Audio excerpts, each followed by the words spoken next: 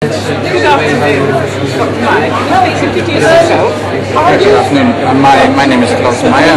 I'm uh, president of the European Society for Oncology Pharmacy, former in the board of the European Cancer Organization, and so we are involved in oncology pharmacy in Europe.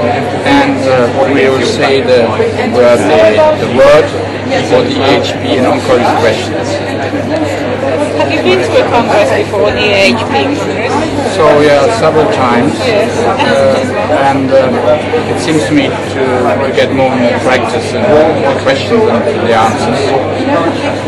So what is uh, you, you, what is ESOP doing these days? What is uh, oncology? Where's, where's oncology pharmacy going? That's a great question. So uh, uh, we, we, you know, we, we understand ourselves that uh, supporting oncology patient best. So and then we have to think about that, how we can.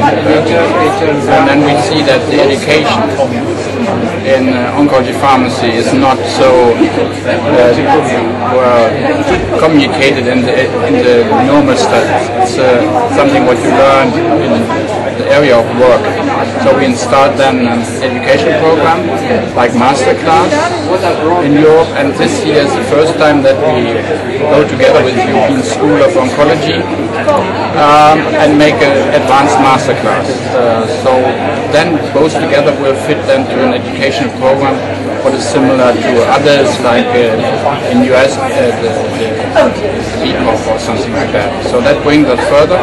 The second is we have a European Congress next year in Krakow. So last year it was in Budapest with normally I think 500 participants but from 15 countries. So it was a great success.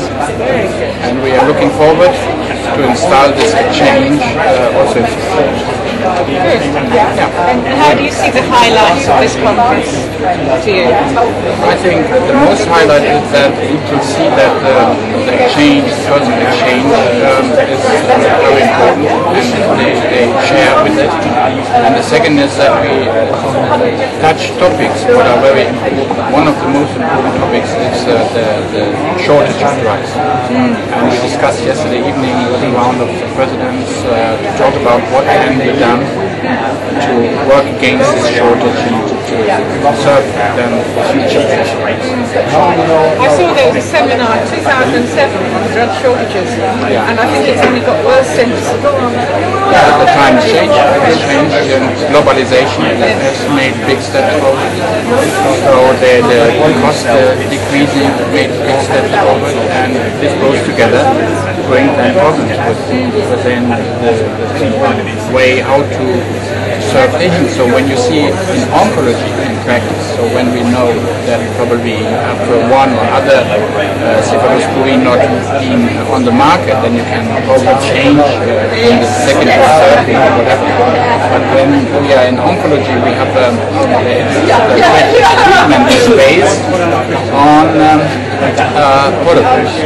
So, and uh, when that's uh, you cannot change in the protocol the drug. You cannot change when you make a FOLFOX therapy. You say uh, we have no 5-FU, we take a little bit more oxaliplatin. So that's not possible. And that's why when you have one drug not available, that is really infusing and giving influencing uh, the, uh, the the whole study. And that will mean with probably in this way with this one drug, we will see that um, we have um, uh, for sure 38% of all patients cannot be treated and this will really occur to us that this drug is not available. But thank you very much. Yeah, thank you very much. Bye bye.